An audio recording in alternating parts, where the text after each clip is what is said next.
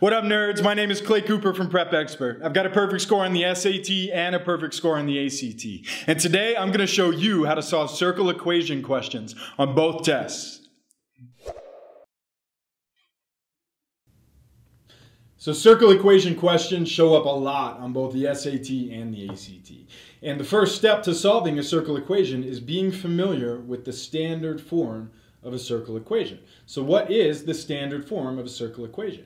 Here we have it. It is x minus h, quantity squared, plus y minus k, quantity squared, equals r squared. The cool thing about this form is that when you have a circle equation in this form, you can just look at it and tell what its center is. Its center is hk, and its radius as well. Its radius is r.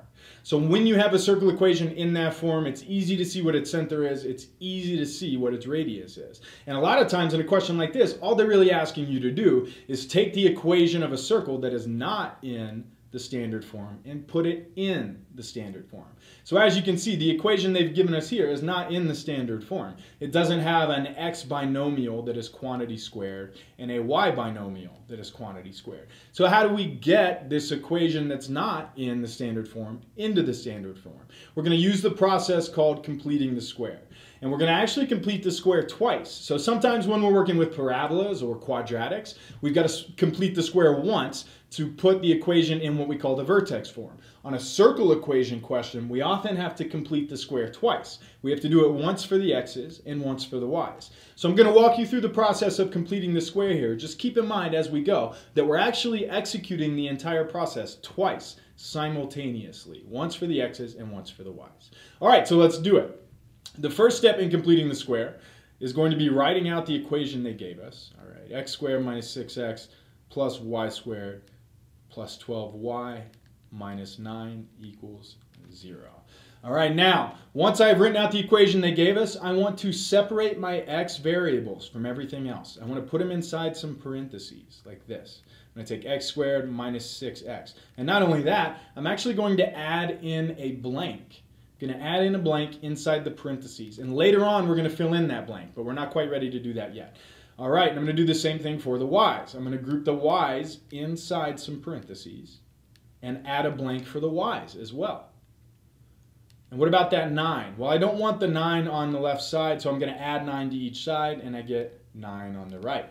Now, how do I get away with adding blanks on the left side of the equation? How can I just change the equation like that? Well, the way I get away with it is by adding the same blanks on the right side of the equation as well. So I'm going to go ahead and denote that. We have two blanks on the right as well. And as soon as I figure out what goes in the blanks on the left, I'm going to fill the same number into the blanks on the right so that I make sure not to make any careless errors. All right, now, what goes in the blanks? Well, our job here is to turn this x quadratic into a quadratic that can be factored into a binomial quantity squared. And for any binomial quantity squared, it's c term, and that's a reference to the standard form of a quadratic, ax squared plus bx plus c. If a quadratic can be factored into a binomial quantity squared, it must be the case that its c term is equal to its b term over 2 quantity squared.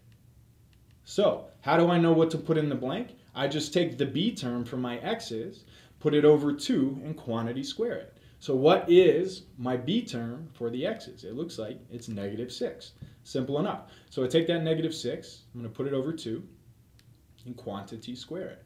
And we'll simplify that in just a minute. Let's do the same thing for the y's. I'm going to take my b term. For the y's, it is 12. 12 over 2, and quantity square it. Awesome. So now simplifying, inside the x parentheses, I've got x squared minus 6x plus negative 6 over 2 is negative 3. So negative 6 over 2 quantity squared becomes negative 3 quantity squared. Negative 3 quantity squared is just positive 9. All right, now I have filled in the blank for the x's on the left, so as soon as I figure that out, I want to fill the same number in on the right.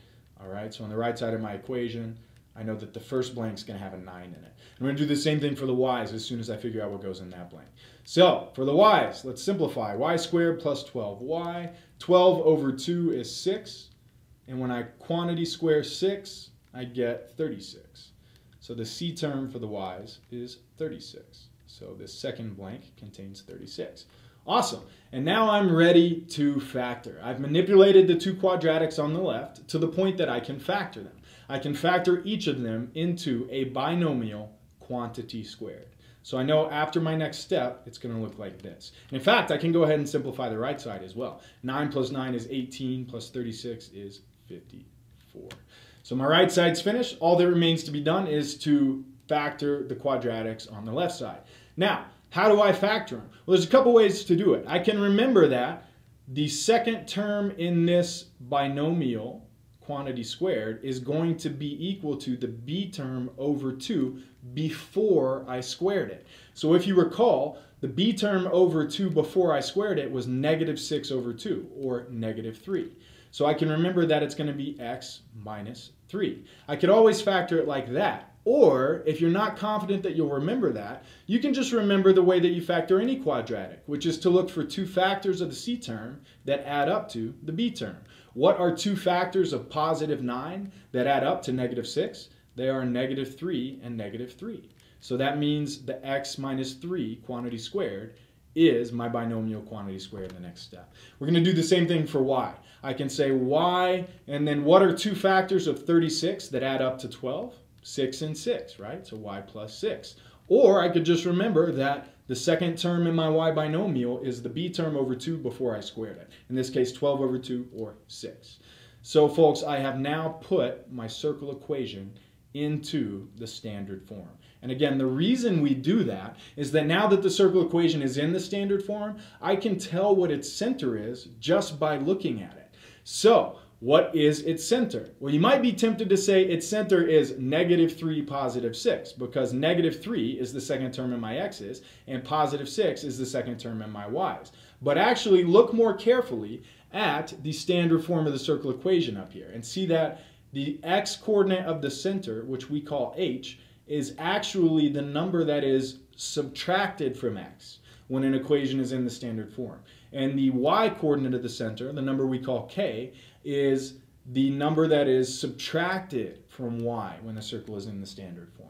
In other words, when you have a circle equation in the standard form, make sure you flip the signs of the h and k terms to find the center. So instead of a center of negative 3, positive 6, I actually have a center of 3, negative 6.